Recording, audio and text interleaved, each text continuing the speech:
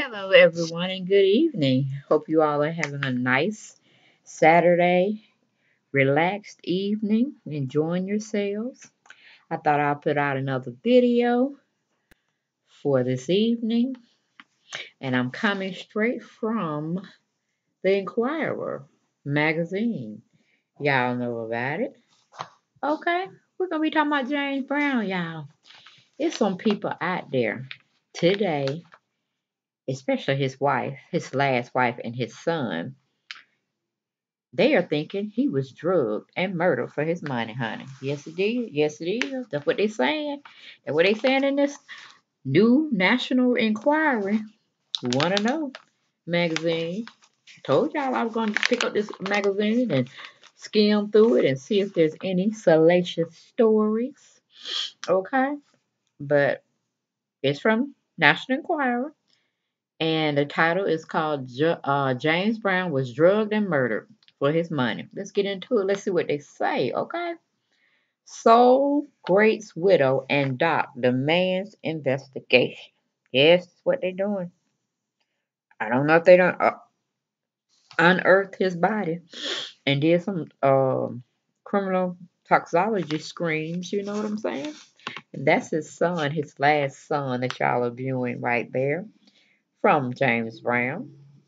I don't know if he really looked like him or not, y'all. Maybe the eyebrows and maybe the eyes look like they're coming from his mother. But it is what it is. Okay, let's get on into it. It says the widow of soul icon James Brown charges the I feel good. I knew that I would. I feel good. I know that I would. Sugar and spice. Da da. I don't know the song, y'all. I just thought I would kind of sing it, okay? Since I hit that uh, in that first paragraph, and that's um one of his songs, I Feel Good. I thought I'd just break out in tune. But y'all see how that went south real quick, okay? But anyway, it goes on to say the widow soul icon James Brown charges the I Feel Good singer was purposely loaded up with drugs and murdered by crooks after his money. Okay? Now, Tomi Rae Brown, that's his last wife, 50, mom of the singer's youngest son, James II, 18, wants cops to open an investigation into the Godfather of Soul's 2006 death, which was attributed to congestive heart failure and pneumonia, even though the autopsy was performed on the 73 year old's body. I think he could have been murdered, Tomi said. They were feeding him drugs and not playing him. Oh, and not paying him. You don't give somebody drugs when you are looking out for them. It was crack cocaine and phenicid something, phencyclidine. Everywhere I looked, there was this stuff. I throw it away and more would come. He would be on the phone, bring me my green suit. Bring me my brown suit. And the suit will have something in the pockets. Yeah, I'm like, why would, would James Brown be in on the phone? To my bring me this and that and third suit. Don't he have a closet of his own? I'm just saying. Going back to the article, it says people gave it to him. Now the real cause of death is under question. In February, Brown's physical or I'm sorry, Brown's physician, Dr. Marvin Crawford, suggested the star's death was due to an overdose, okay, of drugs, possibly intentional. Since then, Tomi saw uh, some of Brown's friends and the doctor who signed his death certificate asked for the investigation into his death to be reopened. Okay, after Brown died in Atlanta hospital on December 25, 2006, his body was immediately mummified. Hmm. Make you go, hmm, right? Later, his legs were amputated, so DNA tests could be done in a battle over 100 million fortune. Dang, they amputated his legs? What? So you mean Jack Brown, King of Soul, went to heaven or hell without his legs? Okay, mm, that's what they do. Okay. He remains now apparently lying in a crypt on his daughter's property. Tomi believes Brown's manager, David Cannon, which is his former manager, y'all, who died last year, held history behind the stars passing. In 2011, Cannon was sentenced to three years home confinement for ripping off Brown. All right, why do you? I wonder why he was confined to house arrest. He should have still been in jail. They they, they uh, put Bill Cosby in jail. He needed to go to jail too. Okay. Anyway, according to their contract, Cannon was entitled to 5% of the performer's earnings, but instead was raking off around 15%.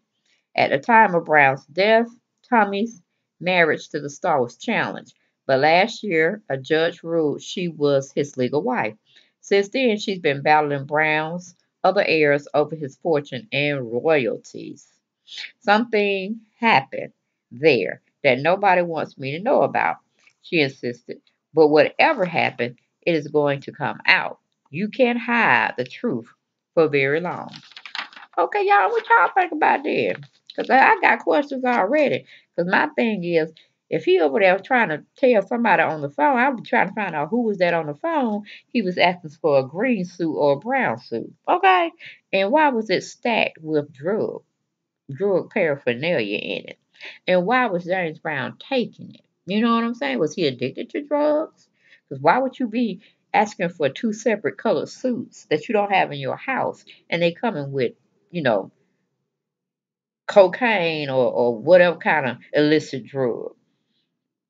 Seemed like Jane had a habit he couldn't kick. That's just my response. What do y'all think about this story? Okay? I look forward to reading your comments about this story because, shoot, how people are leaving this world.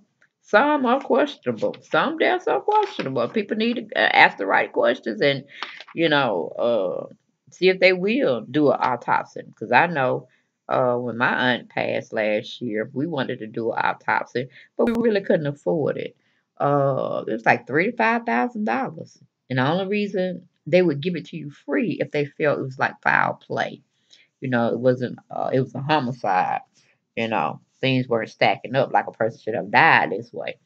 Then that's how you get a free autopsy, no charge to you. But usually, them autopsies range from three to five to seven thousand dollars, depending on whoever doing the autopsy, because it's a privately funded thing that they do. And I was like, wow, because I thought if you just really felt, you know, that you wanted some answers to your loved ones, you know, real quick, fast, and hurry death, uh, you could request it. But honey, no, speaking from experience, if it ain't a homicide or they think it's foul play being done, you got to pay for it. They don't mind doing it, but they're going to pay you. I mean, you're going to pay them for it. But um, yeah, I was kind of sad that he did die on um and um on Christmas Day. You know what I'm saying? Any death is a horrible death, but then if you look at it from a spiritual point, the person is not in pain no more. If they were suffering, you know, like bedridden or they were disease stricken and they couldn't do too much of anything. They weren't really living life anyway. But uh, it's just that we get so attached to our loved ones and we don't really think about it until I guess they're so old and decrepit. You think, yeah, it's time for them to go home. But when they go home unexpectedly, or you know, they just fall ill for some reason, or just out the blue, just drop dead. You know, we all have questions and concerns of why that happened, but you know, sometimes it's just the Lord wanted to call their child home. You know, and that's what it is. You know, it says to be absent from us and to be present with the Lord. Okay. Uh, but death for some people is hard to take, and sometimes they never get over it. But they proceed on in our daily living and living life to the fullest of what they can, you know, possibly do without that particular person. Um, what do y'all think about James Brown? Do y'all think somebody was out to murder him? Do y'all think somebody was, you know, uh, dealing him drugs or, or, or what? Or was he just body just gave out? Because I know uh, my uncle, he died in 2007 on Christmas morning, uh, in the eve of Christmas morning, whatnot. And that was hard to take um, because I was very close to him. He's almost like my dad. Um, a feeling dad because my, my dad wasn't, wor- wasn't worried about anyone trying to be a dad in a sense. he got us here, but just kind of left us, me and my brother, as well. So this is what it is. Some people are dad figures, father figures, and some people just, you know, they go around making babies and, you know, they claim them, but they don't do anything for us, making sure they're good. They don't try to provide for them uh, financially or emotionally. You know what I'm saying?